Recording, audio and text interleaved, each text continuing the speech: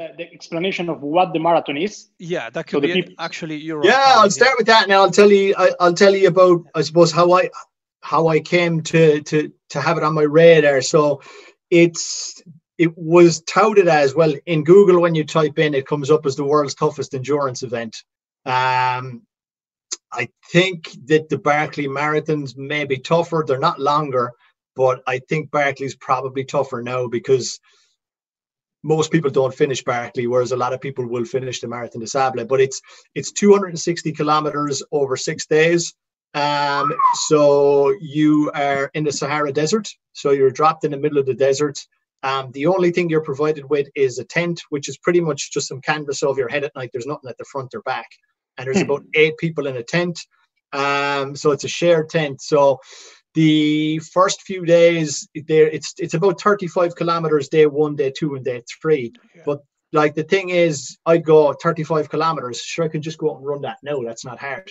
But it's 30 between 30 and 40 degrees heat.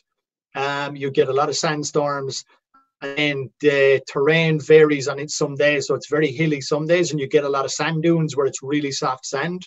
So you can't even run in it you have to kind of almost walk or climb up some parts of it because it's it's not possible to run.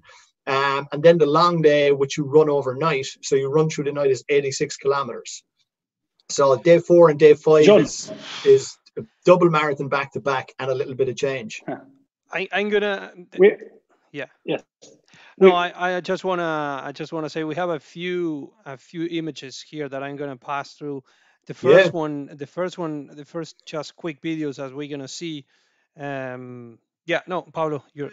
Yeah. So, do you want to run them images, or will I will I talk as you're going? No, you, you can talk first, and then and then we. Okay. Yeah. So yeah. yeah. So the the race was supposed to run on the third of April, um, and I started training around this time last year. So it's been pretty much twelve months, but I wasn't really into the heavy training until about the first week in September. So I I had it planned that it was going to be a seven month block. Um, and I had my training kind of planned out week by week, and I was working off all of these kind of metrics that I needed to hit every week to build it up. So it's interesting because when you look at it at the start, you're going, man, there's no way I'm going to be able to do that. But like by the time you get into January or February, it's like you do a marathon on Saturday, you get up Sunday morning, you go out and you do another marathon. And then on Monday, you go to work and you're like, fuck, I don't actually feel too bad today. So it's it's amazing how fast that like what you deem as doable it begins to stretch and and like your horizons of this expand. So like generally during the week you do three runs they'd vary in length from 10 to 15k sometimes you'll do some hills during the week. Uh, you'll get two tough gym sessions in um, a lot of strength stuff. Um, mainly around your legs, but because you carry everything on your back, you've got to do some upper body stuff as well. So you have your pack on your back and you bring all of your food, you bring all your medical supplies, you bring your sleeping bag, you bring your venom pumps, everything that you need to bring, you're carrying on your back. So your your back is your bag is about 10 kg at the start and then you try obviously as you eat some food it gets lighter as you go along so you need to keep strength on as well as just the physical endurance side um, and then generally the way I worked my program was Saturday and Sunday were two long days.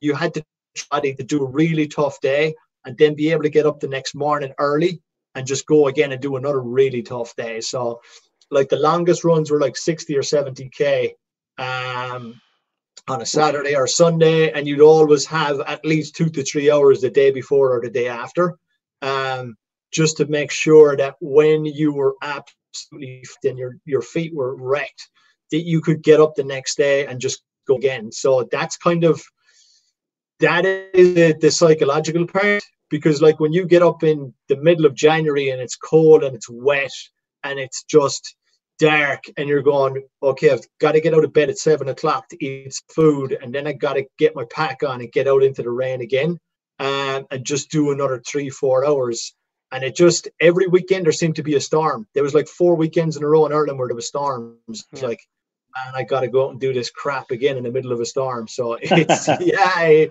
it, I, I, I can tell you that, like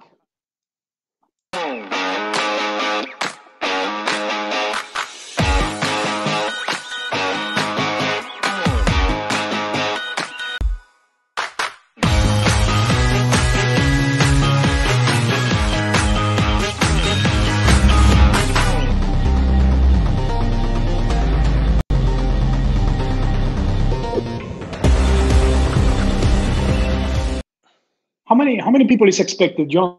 Um, so this year is the 35th anniversary. So it's their first, their 35th time running it. So they reckon they were going to have about a thousand people this year. A thousand Ooh. people. Yeah, yeah, that was that was that was the plan. Um, whether those numbers are going to decrease, but I think it was going to be their highest ever entry, um, because it was kind of an anniversary race.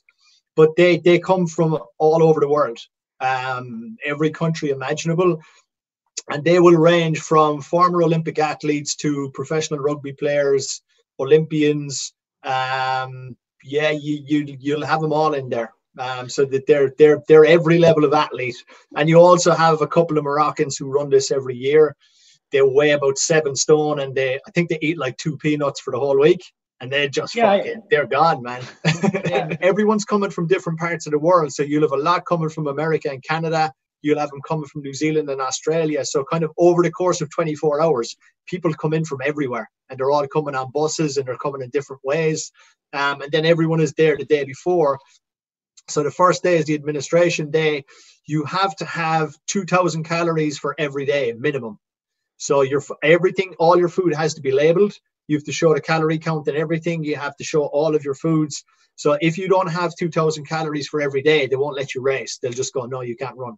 Um, that's a minimum. You obviously want to get a little bit more because yeah. you're going to be burning a lot of calories. But the challenge then is everything you bring, you have to carry. So it can't be too heavy. So there's yeah. a balance between. So ideally, what you're looking for is you're looking for stuff that doesn't weigh a lot, but's got a shitload of calories in it. Mm-hmm. So like I'm in a supermarket looking at labels, going uh, 120 calories, nah, for children.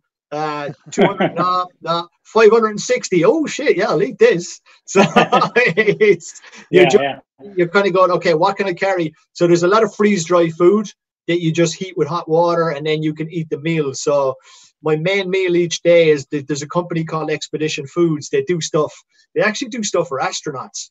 Um, They'll do stuff for oh. people who are out at sea for long mm-hmm. periods of time. They'll do it for soldiers. That's, so it's that, these, that little box that we see in the astronauts, like when, when we see the movies. Yeah, yeah. So it's it's all freeze dried, and all you do is you add water, you stir it up, hot water if you can, and then you eat it. So there's like pastas and curries and different bits and pieces. So uh, each, each one of those is a thousand calories. So it's a small little pouch, but it's there's a lot of calories in them. So that's good because it means that's pretty much half your supply for the day in one bag.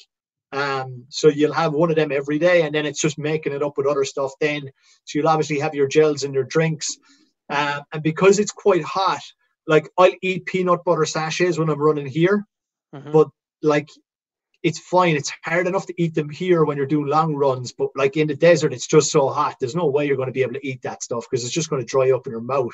Yeah. So it's trying to find stuff that'll be okay in the heat as well. So even right. some of the chocolate stuff that you have here, you can't bring that there. It's just going to melt.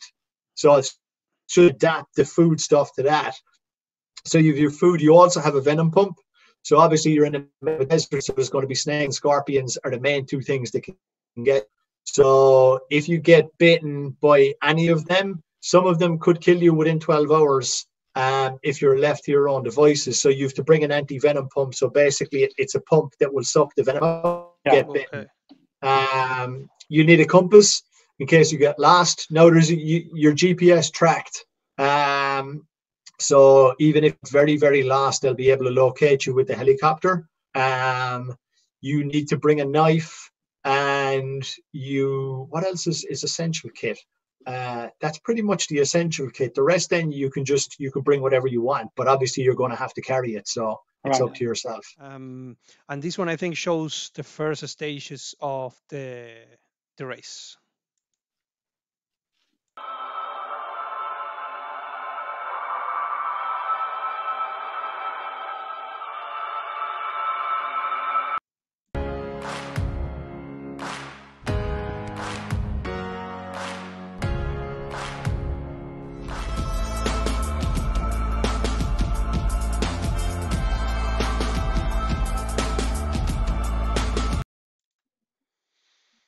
And we're back here uh, cool. after seeing these images. Yeah, we.